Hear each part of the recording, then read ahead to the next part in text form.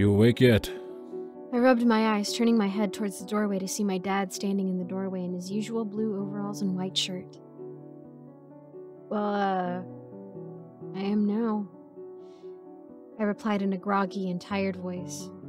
Not late for school, am I? Without saying a word, he gestured for me to follow him before turning around and heading back down the stairs. Quickly, I got out of bed, knowing from his blank facial expression that my dad was clearly upset. I picked up the pace in an attempt to catch up with my father, who was already out the door. Now at his side, I slowed down my pace to take in the beautiful sunny morning as we walked into the pig pen. When we got to the entrance to the pen, my father stopped walking. I followed suit. He got down on one knee right next to me as to be on my eye level and pointed inside the pen. Anything seem odd to you? I was about to reply no when I noticed what he was referring to. There were only four pigs inside the pen, when there were usually five. My heart sank when I remembered that I was the one who closed the pen last night. My father turned his head toward me. Tell me. Slowly, I turned to face him, worried that I would be punished for my mistake. Did you let one of the pigs get out? No, I stuttered the reply. I never make such a mistake. My father continued to stare intently at me with his doubtful eyes, making me more and more nervous each second he held his glance. Finally, he pushed himself up and looked up at the sky and then back down to me. We'll talk about this later. You got school to go to. I breathed a big sigh of relief as he walked by me and back into the house. I'd have some hours of school before whatever punishment awaited me. Before walking back into the house, I turned to the pen in front of me and began to wonder how one of the pigs managed to get out. I could have sworn I locked the gate tight. Oh well, it didn't matter. I went back inside the old wooden house and headed straight for the kitchen. There, my mom was making breakfast in her favorite red apron. She turned her head to me and smiled. Heard you let one of the pigs out, she said in her deep southern accent. Yeah, I responded in a disappointed tone. Don't know how I managed to even. My mother raised her hand as a gesture to stop speaking, which I followed. It's okay, she started. I know it was an accident. Your father knows that too. He's just a bit cranky for now, that's all. Having been reassured by her, I smiled and thanked my mom. No problem, baby. She replied in her usual upbeat and happy tone. Now come on, I made you breakfast. Finishing my breakfast, I changed out of my pajamas I had worn the night before into more presentable attire. After getting all ready, I sat on my bed and started shifting through my backpack in order to make sure I had everything homework, folders. Oh, yeah, I almost forgot. I got up and went over to my dresser and opened the bottom drawer. I pushed away some clothes to the bottom of the dresser where it sat. Pepper spray. Picked up the pepper spray and stuffed it in my back pocket. There were some rowdy teenagers that liked to scare kids like me while we walked to and from school. I managed to get my hands on some pepper spray without either of my parents knowing, just in case the teenagers ever get more violent. After ensuring that I was all set, I made my way downstairs. Bye, honey. Have a good day at school, my mom said as I walked out the door. Thanks, Mom. I'll try. As I closed the door behind me, I walked down the old wooden steps to our porch, each making a creak as I stepped on it.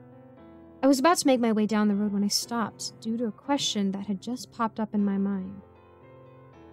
Would pepper spray really be enough to stop them? I asked myself aloud.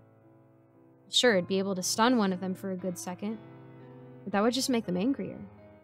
As I questioned the power of my pepper spray, a new idea popped into my head. Feeling a small smirk come across my face, I turned over to the large cornfield in front of our house. I could easily walk through the corn to hide from any miscreants looking to cause me harm. I thought it was quite clever of me to think of such an idea. I made up my mind. I was going to walk through the field to get to school. Sure, I wouldn't be able to walk the entire way to school through the corn, but I'd surely be able to walk a good distance in it given its large size. I strode into the deep cornfield, pushing away any stalk that stood in my way. After walking for about a minute, I began to find the walk rather calming. It was just me my own thoughts, and the endless sea of corn. I stopped for a moment to fully bask in the relaxing isolation. I took a deep breath as I stared up at the bright blue sky. Breathe in, breathe out. Breathe in, breathe out. Breathe in, breathe. My slow breathing stopped.